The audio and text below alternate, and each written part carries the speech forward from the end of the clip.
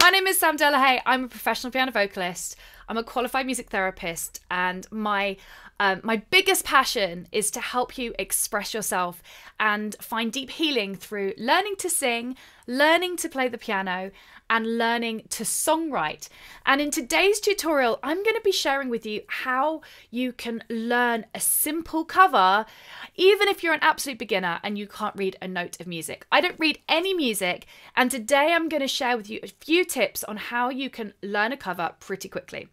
So the first thing is is let's just explain what a cover is. A cover is a song that another artist has played.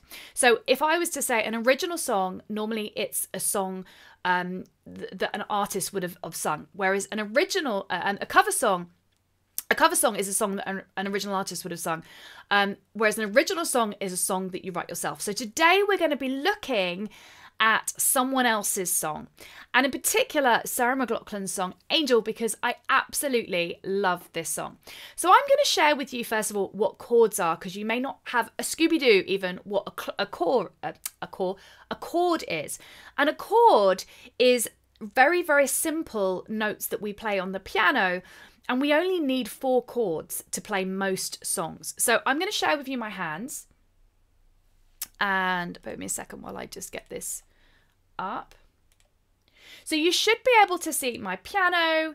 You should be able to see the the the chord sheet. This is what we call a chord sheet, which has got the the words and it's got like a DM, an F, a C, an F A G. These are all your chords. Now, songs are broken up, as you know, into verse, into chorus, but a lot of songs are just four chords the whole way through. Now, today's song isn't that, but I've put it in the key of C so that it's nice and simple. So, if you're a beginner and you're learning chords, first of all, you want to get your thumb, twiggle that thumb here, and we're going to put it on C here. And then we're going to move our little middle finger and we're going to put it on E. And then we're going to move our little finger here and we're going to put it on G. So that would be your C chord. Now, in Express Your Truth and Piano Vocal Success, I name these as like claw chords and triangle chords. That's my main program that I sell. Um, but for today, we're just going to be learning um, a few of these claw chords. Okay, in fact, the whole of this song is with claw chords, which is great. So it's this kind of pattern down, up, down, up, down, up. So we have our C. If we take our hand and we have our wrist, we're going to move our C up here to F. So can you see it's exactly the same pattern, but we're just moving it up to F. And then we're going to move it down to D minor. And then we're going to move it back up to F.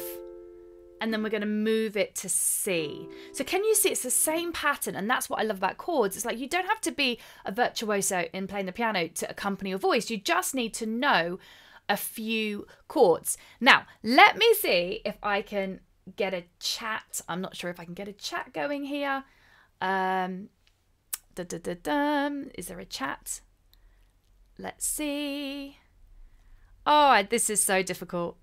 You know, with anything that you learn, it's really difficult to to start off with. But that's the same thing. It's like learning to play the piano. It is difficult, and you're going to make loads of mistakes. So I call them mistakes because I think it's really important that we we make must stakes. Okay, I cannot see the chat. I cannot see where you are.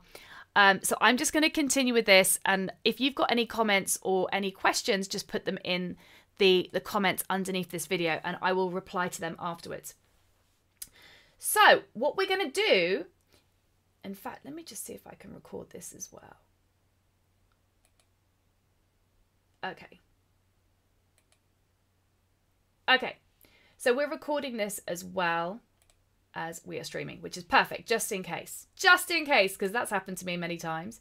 Um, so what we're going to do is we're going to learn the chord. So as I said, I've shown you my C chord, which is this chord. Then we're going to move to the D minor.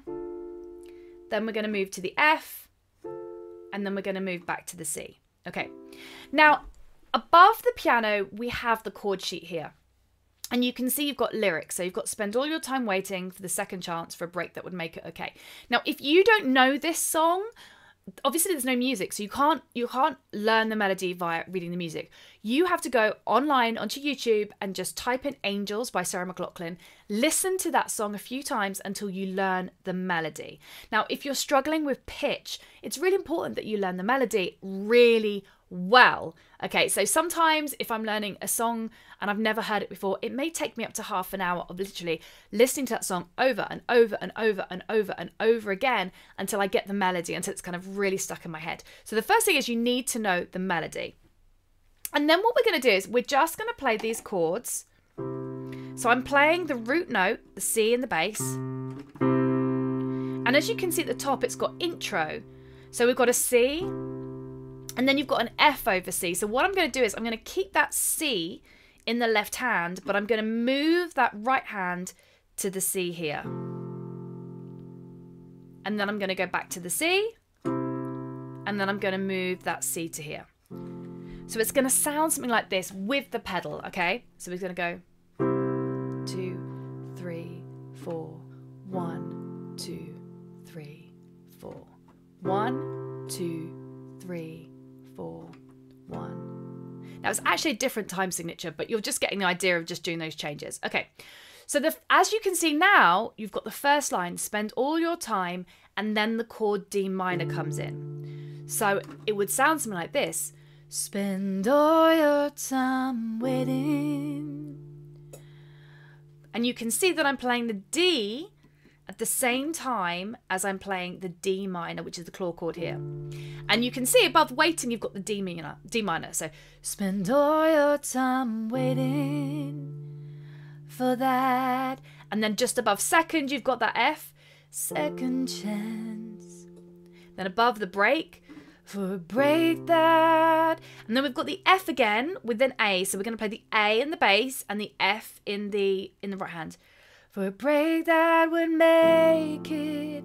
Then we've got the G, okay. There's always some reason to feel not good enough. And it's hard at the end of the day.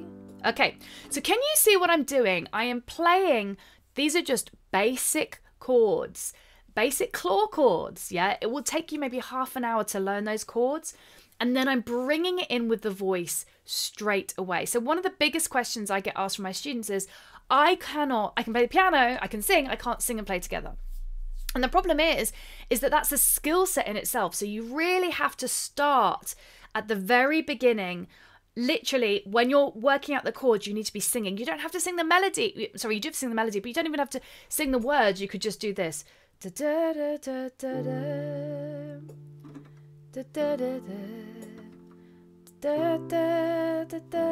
Sorry.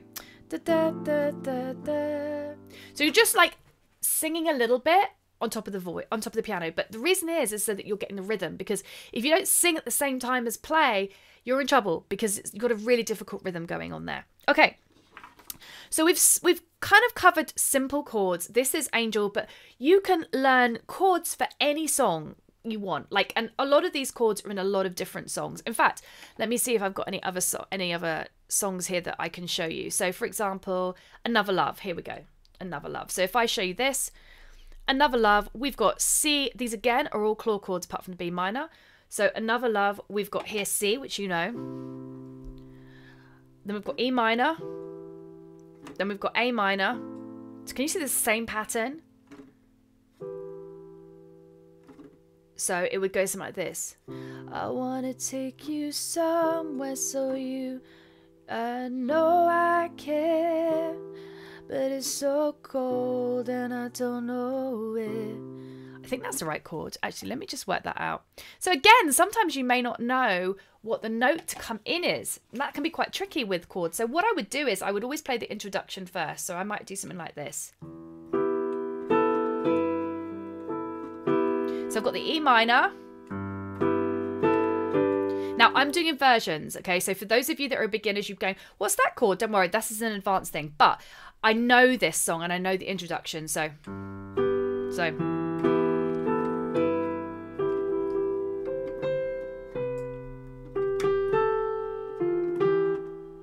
something along those.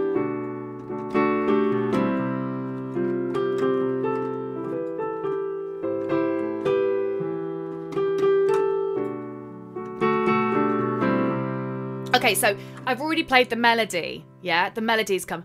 Oh, so you're gonna go this. I wanna take you somewhere so you know I care.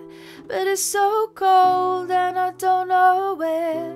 I bought you daffodils and pretty strings, but they won't flower like they did last spring. Now, it's actually quite high for me, this song. Can you hear that's slightly a little bit too high? But if you're a beginner, there's nothing better than playing the C chord. Yeah, there's nothing better than playing the, C major scale. All those chords are in the white notes. Yeah, so if you're a beginner piano player and you just want to learn a song, like you might just want to sing it a little bit higher because it's in a better key. However, if you are a competent piano player, I would then suggest lowering it so that you're in a, a more suitable key for your voice. Okay, so that's just something to think about. Now, so say you've got your chords and some of you might be like, well, that's a bit boring all the time. All I'm doing is playing those chords, Sam. I know how to do that. Well, this is where we need to have in different piano voicing. So, like the left hand. So, for example, you might want to do an arpeggio. So, an arpeggio is this. So it's like long, a long kind of run up of notes. Normally the fifth, the third, so it might be like a. So we're doing the arpeggio of the C. We'd do a C, a G, a C. So, so it's like a fifth. So this is the first, this is the fifth, and then this is the first again. Yeah? And then we might do this.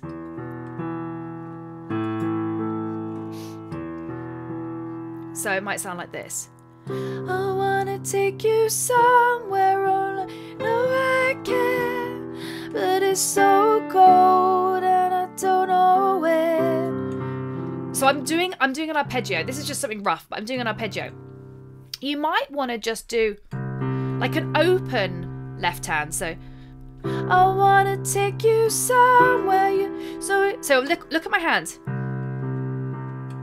One, two, three, four, one, two, three, four, one, two, three, four, one, two, three, four. I wanna take you somewhere so you know I care. But it's so cold and I don't know where. So again, I'm having a bit more of a groove because I've got that one, two, three, four, one, two, three, four. You could even do passing notes, so you might want to do this. So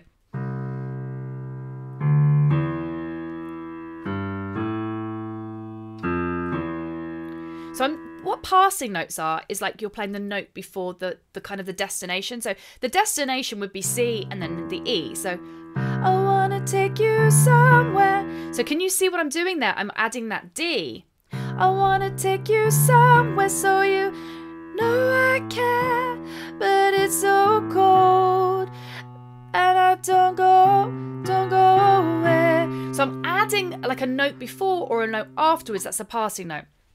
And then there's like there's loads of other left hand techniques that you can learn. So, but another way you could do it is you could do inversions with the right hand. So you're not just playing those those those classic root triads, but you're actually doing the first inversion. So it might sound something like this. I wanna take you. So I'm doing from the root to the second inversion. So I wanna take you somewhere where you you know I care, but it's so cold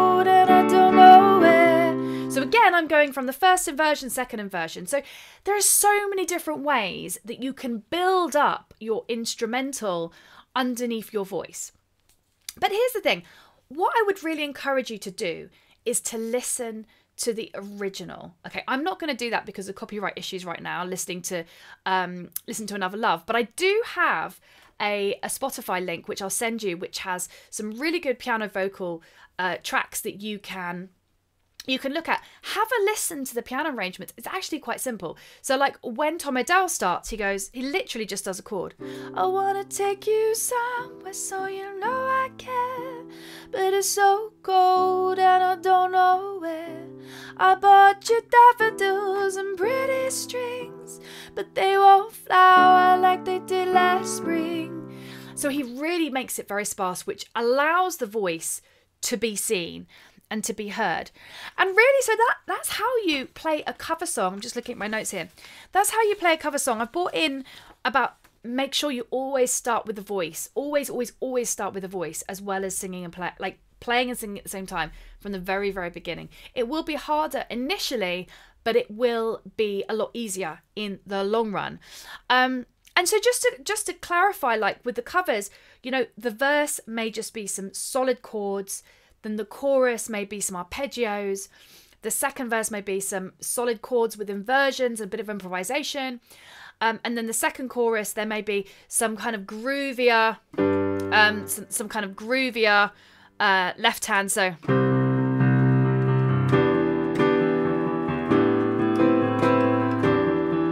Some busier left hand. But what you want to make sure is that you don't make it too busy. And you can play around with this. Like there's no right or right or wrong way of doing it. There really isn't. And that's what I love about playing chords is there no there's no right or wrong way.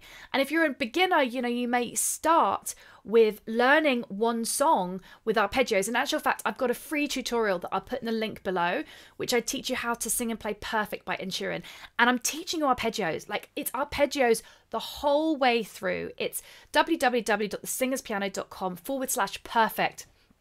And literally you play arpeggios the whole way through. Learn the arpeggios get really good at them and then you can bring in some kind of groovy left hand bass. Get really good at that. Then bring in some inversions get good at that. And it's really just about layering the, those piano arrangements till eventually it just becomes second nature. So listen guys i hope you've enjoyed this first live tutorial. I really hope I'm live. I cannot see any chat, but listen, if you've got any questions, write them in the comments and I will answer them straight away for you when I come off. And hopefully, if this works, I will see you live next week. And if you've enjoyed this, please subscribe to my channel and I will be giving you loads more free content.